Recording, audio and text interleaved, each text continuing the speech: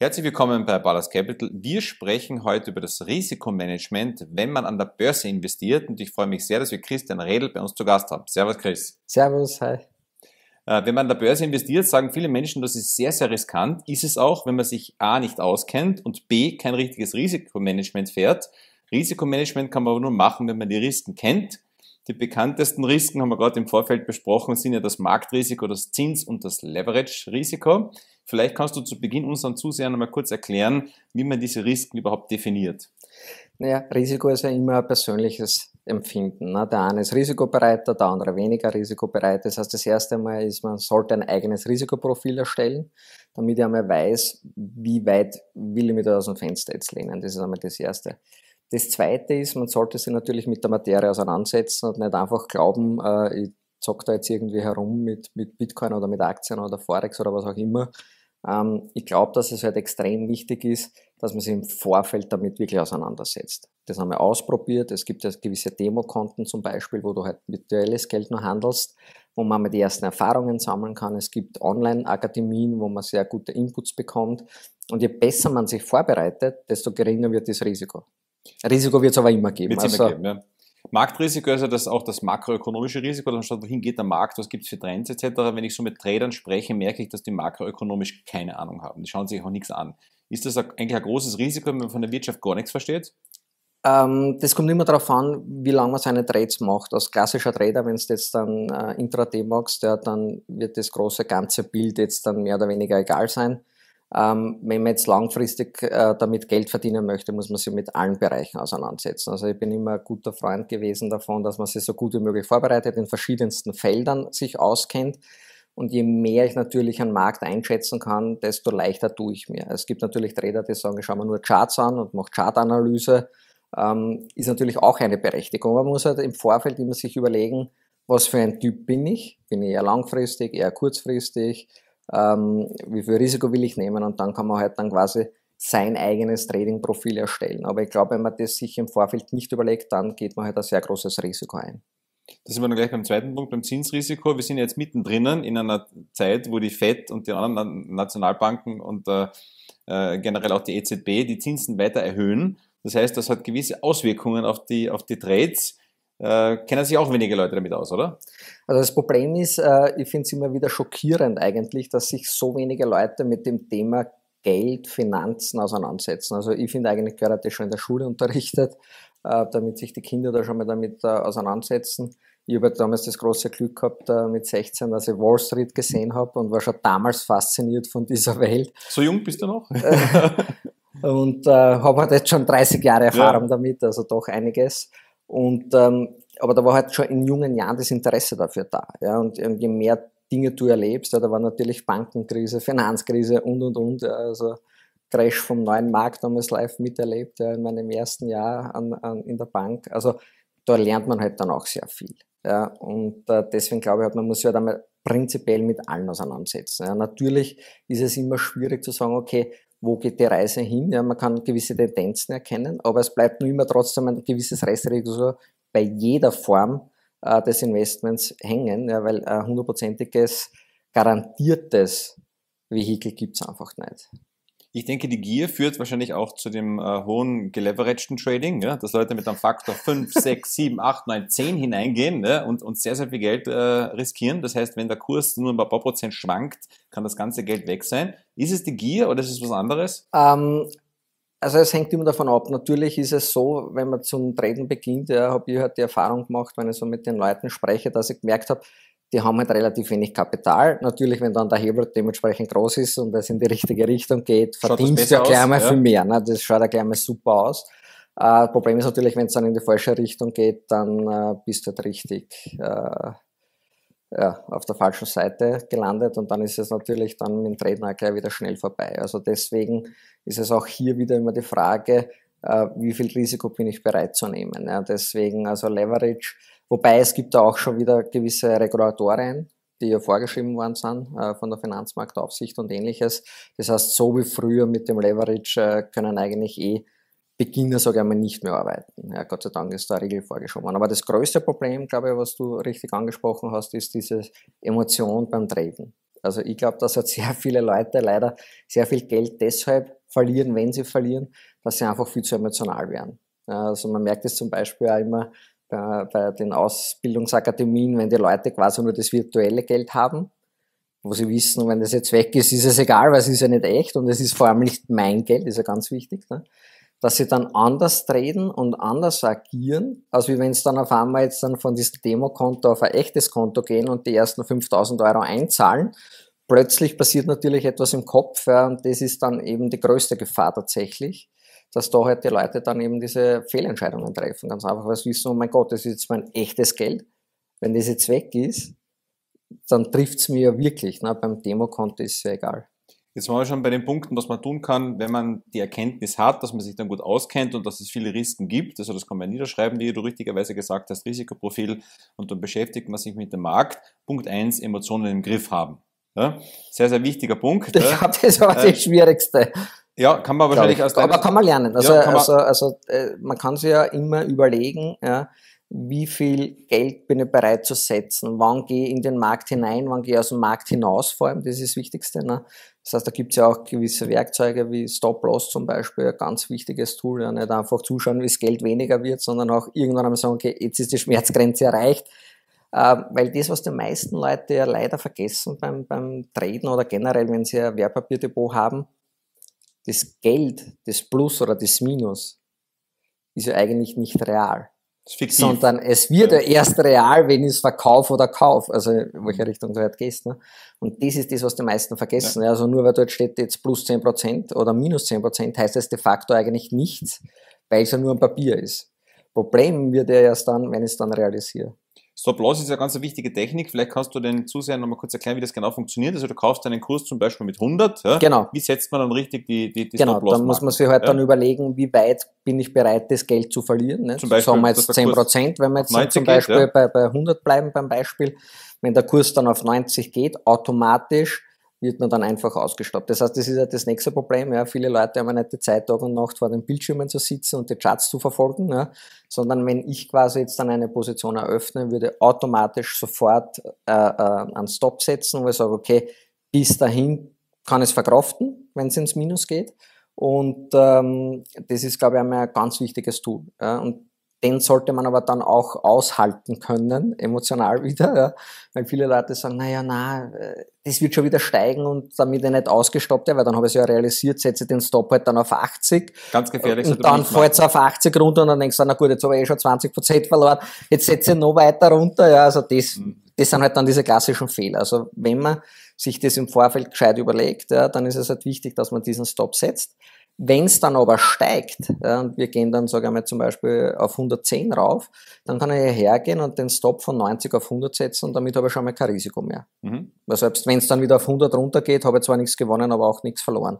Wenn es dann auf 120 steigen würde, dann kann ich den Stop auf 110 setzen und damit habe ich schon mal 10% verdient. Also ich glaube, mit dieser Stop-Loss-Strategie kann man schon mal sehr viel tun. Braucht man aber auch viel Disziplin dazu? Ja? Disziplin ist das um und auf. Also wenn man keine Disziplin hat, sondern nur emotional handelt, glaube ich, dann wird es äh, langfristig gesehen, natürlich kann man immer Phasen haben, wo es gut läuft, äh, aber es kann ja keiner in die Zukunft schauen. Das ist das Problem. Also wenn einer sagt, es geht immer nur von links unten nach rechts oben, dann ist das sicher mehr Betrug. Ja. Wenn die Kurse aber dann nach oben ausbrechen, also wenn es sozusagen Kerzen gibt etc., könnte man auch äh, Gewinnmitnahmen Mitnahmen machen, äh, ganz genau, ganz genau. ziehen. Ja? Also, ent, also es gibt es gibt da halt jetzt wieder äh, verschiedene Möglichkeiten. Entweder nehme ich die Gewinne mit, ja, oder sage halt, ich nehme den ganzen Gewinn raus, damit ich halt das auf der sicheren Seite habe, oder ich nehme den Anteil raus, den ich gesetzt habe, äh, an Kapital raus, dann habe ich auch das Risiko draußen oder was ich halt immer klassischerweise gemacht habe, ist, ich habe halt einfach meinen Stop-Loss einfach immer nachgezogen nach oben hin. Und irgendwann dreht ja dann der Markt und dann wirst du einfach ausgestoppt und du hast deine Gewinne mitgenommen. Und das ist, glaube ich, jetzt einmal von den Emotionen her am wenigsten. Das, was aber auch wichtig ist, ist natürlich das Money Management. Das ist halt das, was auch viele vergessen. Also ich glaube, das sind so diese zwei klassischen Fehler. Das eine ist eben dieses Emotionale dass sie nicht arbeiten mit Stop-Loss und Gewinnmitnahmen und solchen Techniken. Und das Zweite, was natürlich extremst wichtig ist, ist das Money Management. äh, wenn du 100 Euro hast und du setzt 100 Euro alles auf eine Karte ja, und du hast dann kein Geld mehr zum Nachschießen oder, oder auf eine andere Position zu setzen, dann wird es halt schwierig. Wenn es gegen dich läuft, bist du gleich nach dem ersten Trade pleite und damit äh, kannst du nichts mehr weiter tun in der Zukunft. Ja. Deswegen glaube ich, ist ja das Money Management extremst wichtig, ja, weil nicht jeder Trade kann funktionieren. Also, dass jeder immer auf der richtigen Seite ist, ist eine dümmte Unmöglichkeit. Irgendwann bist du auf der falschen Seite. Und dann musst du aber eben noch so viel Geld haben in der Reserve, dass du halt auch in der Zukunft wieder eben die Gewinner-Trades machen kannst. Und wenn du das eben nicht hast, ja, dann, dann bist du bei der ersten, beim ersten Verlust schon mal komplett ausgestattet und hast eigentlich kein Geld mehr zum Traden. Es gibt ja diese Regel an der Börse, bereite dich immer auf das Schlimmste vor. Ja. Das heißt, bereite dich darauf vor, dass die Kurse so weit nach unten einbrechen, dass das ganze Geld weg ist. Ist das ein guter Ratgeber? Also ich würde jetzt dann nicht mit Geld äh, traden oder was auch immer tun, wenn es jetzt dringend braucht oder wenn ich jetzt mir denke, äh, vielleicht kann ich das Geld in ein Jahr brauchen. Also ähm, wenn jemand tradet, äh, sollte man immer davon ausgehen, dass alles weg sein könnte. Also ich bezeichne das auch bei mir immer, wenn ich das selber mache, als, als Spielkapital. Das ist es auch in meinen Augen. Ja. Ähm, natürlich gibt es andere Investment. Also wenn jetzt Immobilien oder was langfristiges ist, ist es natürlich was anderes. Aber wenn man jetzt wirklich an der Börse herum äh, tradet, zockt, wie man so schön sagt, dann würde ich das eher nur mit Spielkapital machen. Weil es kann natürlich, wenn es gegen dich läuft, relativ schnell und leicht eben passieren, dass dann alles weg ist wenn ich mit Menschen spreche, sind die oft sehr, sehr frustriert und sagen, Florian, um Gottes Willen, ich habe so oft verloren. Dann sage ich denen, es geht nicht darum, wie oft du verloren hast, sondern in Relation dazu, wie oft du gewonnen hast, weil auch die Profitrader, die haben ja teilweise 45% Verlusttrades, ja, 50% teilweise, sind, teilweise sind null sogar schlimmer. Also, und 5% genau. machen am Jahresende genau. sozusagen den Gewinn aus. Und das Ganz geht eigentlich genau. darum. Ganz also genau. Also verlieren lernen. Ja? Also das haben wir ja wieder bei der Emotion. Ne? Wer mhm. will schon gerne verlieren? Ja, ich sage immer so, ähm, immer wenn ich verloren habe im Leben, wurscht ob es jetzt im Sport war oder beim Traden oder wo auch immer, ähm, da habe ich am meisten gelernt für die Zukunft. Ne? Ich kann mich noch genau erinnern, wie ich ganz jung in der Bank angefangen habe. 1999, neuer Markt in Deutschland, du hast jede Aktien kaufen können. Also das war damals wirklich so der Spruch, blind mit der Tatpfeil auf die Börsezeitung geschossen und die Aktie haben wir dann gekauft und wir haben Geld verdient. Ja. Ähm, dann kam halt der Februar 2000, äh, wo innerhalb von fünf Tagen alles aber komplett eingebrochen ist. Also ich habe äh, zuerst ein halbes Jahr richtig gut verdient in jungen Jahren, dass man dann gleich mal das erste Cabrio kaufen konnte und ähm, ja, am nächsten Tag war dann wieder alles weg, inklusive Cabrio. Aus Fehlern lernen. Also, aber, ja. aber ich muss sagen, also natürlich in dem Moment ist es nicht super, ist eh logisch, ja, aber aus diesen Niederlagen habe ich immer am meisten gelernt. Ja, und, und das ist ja genau das, was man halt da lernt. Du musst halt mit diesen Emotionen umgehen. Ähm, auch wenn jetzt zehnmal auf der falschen Seite liege, ja, muss ich eben durchs richtige Management, Management noch immer so viel Geld haben, dass ich halt dann meinen elften Trade genau. machen kann, der mir halt dann das Geld dann am Jahresende bringt. Ne? Mhm, sind wir wieder bei der Disziplin. Genau, ja. das ist eben genau das Thema. Nicht? Also du musst halt immer schauen, dass du halt am, am, im Long Run Geld verdienst, logischerweise, und nicht äh, vernichtest. Aber das funktioniert eben nur deshalb, wenn du diszipliniert bist, wenn du das richtige Money-Management hast und wenn du halt dann eben die richtigen Technik mit Stop-Loss, Gewinnmitnahmen und so weiter anwendest, dann bin ich felsenfest davon überzeugt, dass jeder Mensch, äh, wirklich jeder Mensch ein erfolgreicher Trader werden kann.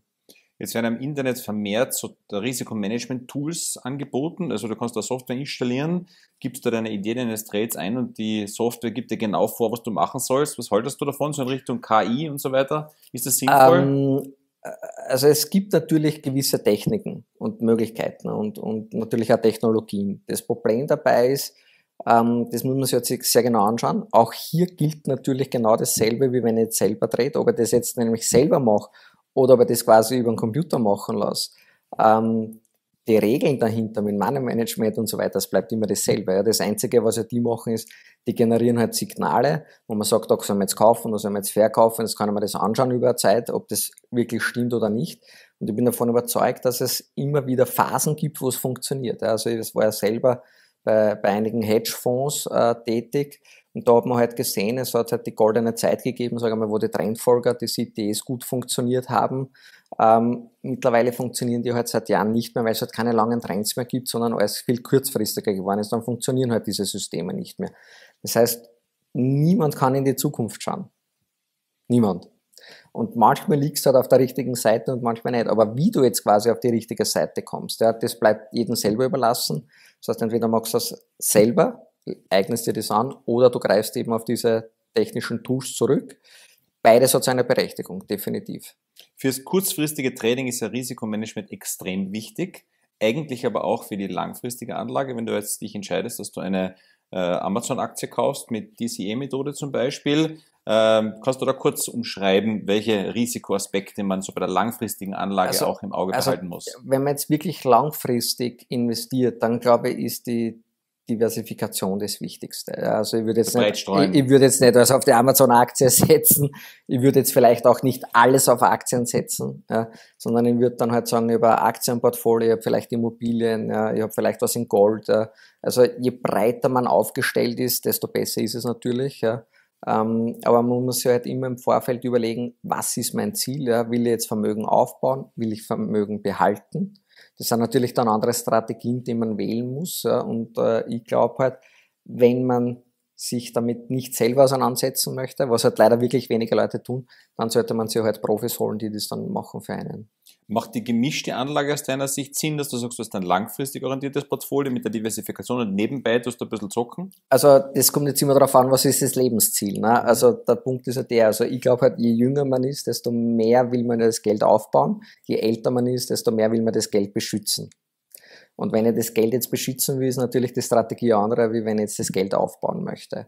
Ähm, ich bin nur immer im Aufbau, obwohl ich jetzt schon 46 bin. Und es hängt natürlich auch davon ab, wie ist man selber gepolt. Ne? Also ich bin halt jemand, der gern selber tradet. Ja? Also das macht mir ja auch Spaß, muss man auch sagen. Also sitze dann auch immer gern vor den Charts und überlege mir, okay, steigt es jetzt, fährt es jetzt, wo setze ich meinen Stop, wo setze ich meine Gewinnmitnahme. Das ist ja äh, wie ein Spiel de facto und das macht natürlich auch Spaß. Du kennst dich ja so gut aus, dass es eine Freude ist, mit dir darüber zu diskutieren, aber jetzt hast du mich neugierig gemacht, in welche Aktien du derzeit investierst. hast du so einen ganz einen heißen Aktientipp für die Zuseher? Ähm, Aktien habe ich nicht. Also das, wo, wo ich jetzt investiert habe, ist, ähm, also ich trade Bitcoins. Mhm. Ähm, weil die Volatilität mir da sehr gut gefällt, ne? rauf, runter, rauf, runter, also für einen Trader perfekt. Ähm, Im langfristigen Investment habe ich jetzt eine äh, etwas andere Strategie gewählt. Ähm, äh, durchs Tauchen bin ich natürlich Ozeanliebhaber und Ozeanschützer und ich investiere jetzt dann ähm, in Aktien oder mehr in Fund of Funds eigentlich in Firmen, die wirklich nachhaltig etwas verändern wollen. Also man ist ein eigenes, diese Themen, äh, genau, oder? genau, ja. also ein eigenes Riesenthema Nachhaltigkeit. Jetzt sehr viele Leute wollen in nachhaltige Fonds investieren äh, und wissen gar nicht, was da alles drin ist. Äh, da wird da eigentlich schlecht muss ich ehrlich gesagt äh, gestehen. Also ich habe ein paar Fonds angeschaut, die unter Nachhaltigkeit laufen, wo dann halt eben Aktien drin sind wie, wie Amazon, Apple und IBM, wo man denkt, also mit Nachhaltigkeit, nur weil ich jetzt dann Solarpaneele am Dach habe vom Büro, ist auch nachhaltig, aber für mich ist halt nachhaltig äh, was ganz anderes. Ja, das ist auch eine halt, Marketingstrategie, das Wort genau, nachhaltig im Moment. Genau, da muss man genau, genau hinschauen. Genau, da, muss man, da muss man extrem hinschauen. Mhm, also, also, du schaust dann genau hin, also Firmen, die genau, wirklich da genau die halt, die äh, genau, kümmern. die halt irgendwie äh, Ideen haben, um das Plastik aus dem Meer rauszuholen und das wieder zu mhm. verwerten. Oder das sind halt dann Firmen, die sagen, okay, wie können wir die Nahrungsketten der Zukunft sichern, äh, weil irgendwann einmal haben wir keine Fische mehr im Meer, also züchten die halt dann Algen und machen dann Essen draus und so. Also das sind halt eher so die, die Aktien, in die ich jetzt gerade investiere. Aber wie gesagt, das ist halt auch wieder eine Strategie, die man sich halt im Vorfeld überlegen muss, was will ich eigentlich? Also ich glaube, das Wichtigste ist, dass sich die Leute immer die Frage stellen müssen, ähm, warum will ich etwas und wie sehr will ich es? Und dann kann man eben anfangen zum Überlegen, in welche Richtung ich gehe. Die Märkte sind im Moment extremst volatil. Äh, jetzt steht gerade wieder eine, eine äh, Fettzinsentscheidung an. Wie schätzt du die aktuelle Lage ein? Also ich persönlich hoffe, dass sie die Zinsen jetzt dann bald nicht mehr erhöhen. Mhm. also, die Balance Sheet wurde weil, schon ausgeweitet weil, wieder? Weil, weil ich glaube, das Problem ist ja das, äh, meine, auf der einen Seite verstehe ich ja, was sie damit bezwecken wollen. Ja, sie wollen die Inflation bekämpfen. Und das Problem ist, wenn ich mir jetzt dann die Inflation anschaue, ähm, bis jetzt habe ich noch keine Wirkung gesehen. Und allein mir fehlt der Glaube, dass auch diese Wirkung eintreten wird. in Amerika sieht man, dass sie rückläufig ist. In Amerika, aber jetzt in, in Amerika, also ja. in Europa ist es eben nicht der Fall, ja, gerade in Österreich nicht. Und ich sehe halt da jetzt dann aber das doppelte Problem, wenn die Zinsen steigen und die Inflation hoch bleibt. Und die ähm, Balance Sheet der Fed erhöht wird. Ne? Dann, dann, so dann hast du halt das Problem, dass sehr viele Leute leider Gottes äh, unter die Räder kommen werden, glaube ich. Wir hoffen auf alle Fälle das Beste. Ja. Wir tragen mit unserer Aufklärung auf alle Fälle einiges dazu bei, dass die Menschen sich besser auskennen und hoffentlich auch ein besseres Risikomanagement etablieren. Genau. Danke für dieses tolle Gespräch und für deine Bitte. wertvollen Tipps. Alles Gute. Danke. Liebe Zuseher, danke für Ihr Interesse, bleiben Sie gesund und investieren Sie smart.